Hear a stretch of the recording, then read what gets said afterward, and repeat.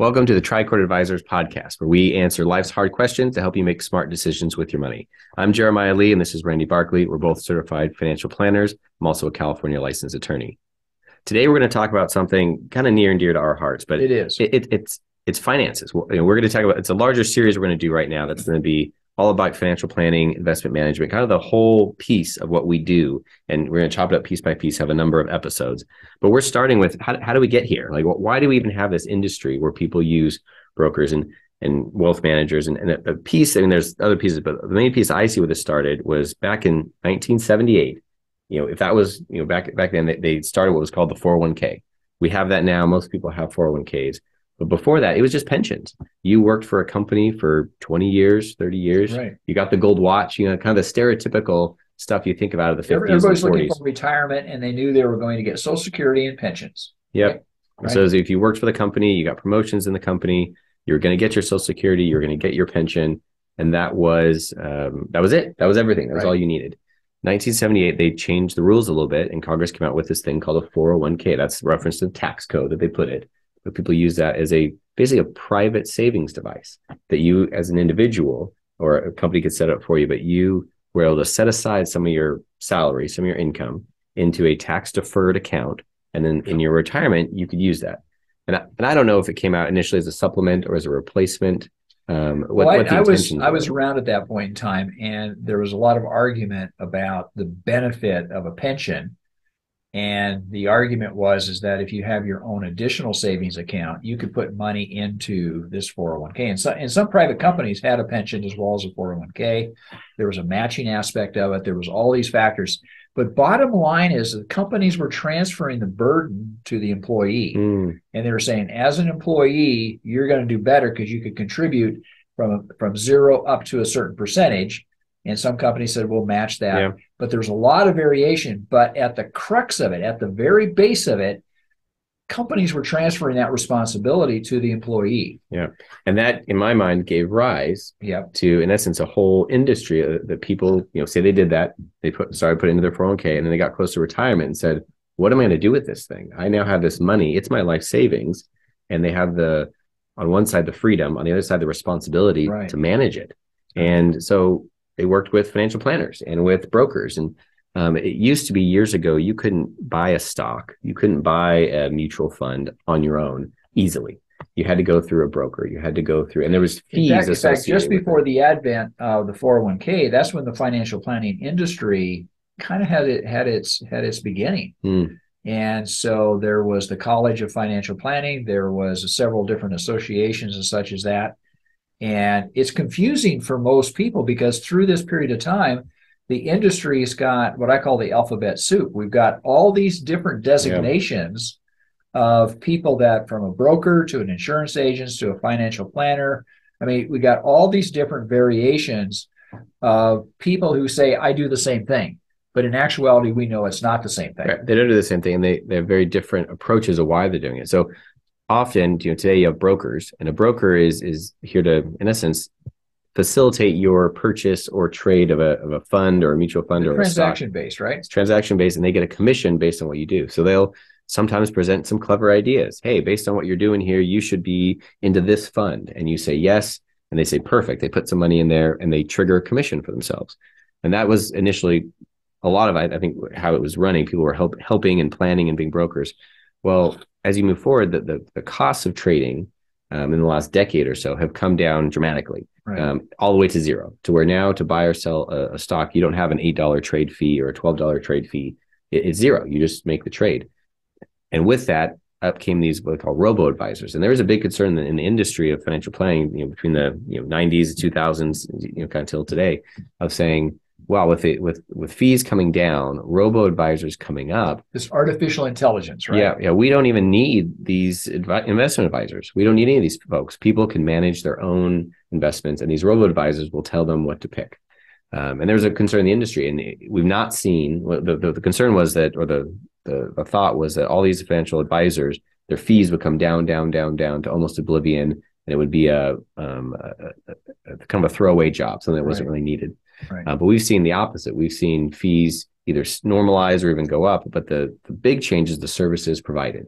It's no longer that you just walk in and say, hey, I, I need Google. Could somebody please help me buy it? Because you can buy it on your phone. You, yeah, you, you know. could you could open an account almost instantly and buy yeah. whatever stock you wanted to buy, yeah. right? And if someone said, "Hey, I don't just want to buy one stock. I want to get a whole basket of stocks," Fidelity, Vanguard, there's any of these companies, they have these little robo advisors where you can do it. But where the value that, that we provide, where, where people are, are desperate still for this assistance, is when they say, okay, I put in all of my information. It says I'm fine. Can I quit my job tomorrow? um, did I put it in right? Am I? Did I think about Social Security? You know, I, I you know, all the different factors that go into someone's life um, to make these holistic decisions, and that's where the industry has moved from just being facilitating a trade to maybe helping you build a portfolio, but now saying, well, of course we build portfolios. Uh, of course we do budgeting, retirement planning, tax planning, estate planning. Like we do all these things where we look at someone's whole life. And it, has been this, this, I think a dramatic arc from, from, you know, everyone just used to get a pension, relied on the company. So now they get that freedom, but also responsibility. And so many people now say, well, what do I do with this? And that and that's really a key point there because the individual employee, the what we call the participant that could put money into a 401k, uh, they were given this absolute freedom. And what we have seen is a lot of people have failed uh, to make the contributions that they needed to make yeah. because they had no objective of how much money they needed. And what happened is that most people, particularly the rank and file, people that were wage earners, uh, they were spending their money they were paying their bills they were they were they were taking care of their family they were paying their mortgage and all yeah. such and what we found is that people did not set aside money or if they did set aside money they put it into a holding they really didn't track they didn't know what what what they were supposed to do with this yeah. and so it's created this kind of obscurity and employers have had this hands off. Okay, it's not yeah. my responsibility. It's your responsibility, Mr. Employee, yeah. right? Well, a lot of people probably have that experience that they have a 401k. They say, right. great, I want to get in it. What should I invest? I got 20 funds. And the employer, or the HR folks have to say, we can't give you financial advice. Okay, you know, yeah. and you're on your own. I mean, right. legally, that's that's where they're at. They have to, you know, make their own choices. And we see a number of folks who have good jobs, good um, earning abilities, but they either are not putting in enough or they're conservative Right. They just they think, hey, this looks safe, and they put the money there. And then 20 years later, they realize I could have been so much more had I been aggressive right. when I was in my 30s. Right. That was a good time. And so, so you know, that's kind of the, the history lesson a little bit of where we get to. But now in today, like I want to talk a little bit like what are people's alternatives? How do you manage their money? And you know, I, I, think you know we're wealth managers. That's what we do. So we have a bias, of course, but there are other ways that people manage their stuff, and we'll talk through you know some yeah, of those. Let's do that. Um, a, a first one I, I think is uh, getting a broker. Right. You know, people say I got a stock guy or I got a stock gal that that will help me buy this stuff, and I see that um, uh, lessening. I, I see more and more people that are that are not just excited to say, well, I my broker only calls me. We had one recently that said he would call his broker and say, Hey, I was thinking about this. And the broker says, oh, That's a great idea. we should do it. And the the the, folk, the person we're talking to, why do you have it? Yeah, why do I have you? Yeah, right? was saying like, why am I coming up with all the ideas? I'm not the ideas ideas guy. You should be the ideas guy. Right. Um, and some of these brokers are are managing a lot of different things, and they're trying to watch funds. And the other the other thing too is that most brokers are tied to a broker dealer, and broker dealers then have priorities, maybe. I guess is the best way to say it. I want to be careful here, but they have products or companies that they're kind of putting at the forefront. Yeah. And the brokers have a tendency to sell those particular kind of push those things. I yeah. guess the best. A lot of those that. personalities that thrive there are, are in a sales type capacity. Right. You know? Right. Um, so some people get brokers. I see people that you know because of Robinhood or a number of other apps, they can do the trading on their own. And my peers, a lot of them say, "Well, I don't want to buy just Google. I, I get that that is risky, I want to buy a basket of funds, either through a mutual fund or an exchange traded fund, an ETF, and I want to spread out my my risk. Right. Um, so then you have people that are moving to more robo advisors. You know, they'll go on, onto Fidelity's website. So so a robo advisor, are are you interfacing with a person at all? Then no, it's technology. That okay. you you'll go in there and um, I've done it myself just to understand how these things work. You go through and you say, um, you know, I'm this age, this is my income, this is what I want to be in the future, and it, it pushes out this is what you should invest in. Right. And then says would you like to do it? Sure. And then it sets up a portfolio for you. so you answer a series of questions. Yep.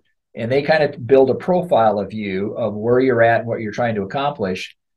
But the thing that i, I would say that a robo advisor doesn't know is doesn't know all the different various uh, aspects of your life that could happen from that point going Yep. forward, right? and how honest people are and how holistic they are in even putting the information in. I mean, I, I I think I compare it a little bit. You know, me my background being an attorney is like LegalZoom. You know, I, I'm never scared that LegalZoom is going to put me out of business because I've read LegalZoom documents. You know, and if if I as an attorney went through the LegalZoom process to set up, say, an estate plan, I'd probably get an estate a great estate plan out of it because I know how to answer a lot of these questions and know what I'm looking for. Someone who doesn't, you know, they're just clicking. I've had a number of you know trusts that were completely out of left field, and it's like, well, where'd you get this? Well, I went through something, and it, LegalZoom can be great. Their documents, I'm sure, are phenomenal at times, but it's it's the user interface, the ability to know what you don't know, Right. and to get in there. And I think Right. a lot of these robo advisors, I'd, I'd say it's probably in the same ballpark. The ability to know what you don't know. That when you click this button, you think it just says, "Oh yeah, what's what's my risk?" But really, you're you're dictating the entire future based on that choice you just made, and not understand the impact of that. Yeah, I just I just met with a prospective client. He's uh, he has a 401. He's a he's a participant in a larger 401k plan. And his comment to me was, he said, I put my money into what I thought was a conservative holding based upon the sub accounts, the choices they had. He said, but it's down over 15% uh, through last year. He said, what happened? I said, well, I, I kind of dug in and I showed him mm-hmm. I showed him what the content of that particular holding is. He goes, how come they didn't do that? How come they didn't meet my request? I said, because it's not their responsibility. You Yeah. pick, they buy. Yep. They expect you to know what you're buying. And for you to come back, like Right. to say, okay, it's been three years from now, and my my future's changed. Now I want to retire at this age, or you know that that lead specifically, or that pro- prospective client was, you know, theirs was well, when the economy changed, why didn't they change the investments? And a lot of these robo advisor type things, it, it's setting you up for a you know ten year perspective without any sort of course corrections along the way, unless you as the you know Right. are proactive doing that. Right. So then I I think people move into the next. Uh, let me take a break. Um, We're going to take a break right now. We're going to continue this conversation, and Jeremiah and I are going to kind of un, you know, kind of just uncover, so to speak, the whole aspects of of financial planning.